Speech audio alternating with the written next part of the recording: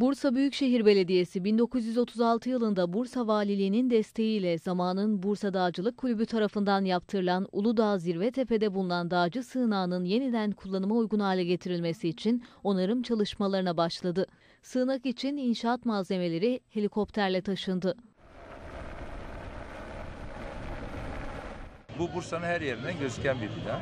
Ama yaklaşık 60 küsur yıl önce burada e, katır sırtında taşınan malzemelerle o günkü zor şartlarla yapılan bina o günden bugüne e, pek fazla e, bakım görememişti. E, çalışmalarla birlikte artık Büyükşehir Belediye'miz dağcıların bu talebine dediğim gibi kulak verdi ve orada e, o e, dağ evinin e, onarımına başladık. Uludağ'ın sert hava şartları nedeniyle yıkılmaya yüz tutan 2453 metre rakımlı zirve tepe sığınağı onarıldıktan sonra doğal severler dağcılık, kayak ve arama kurtarma faaliyetlerinde faydalanabilecek.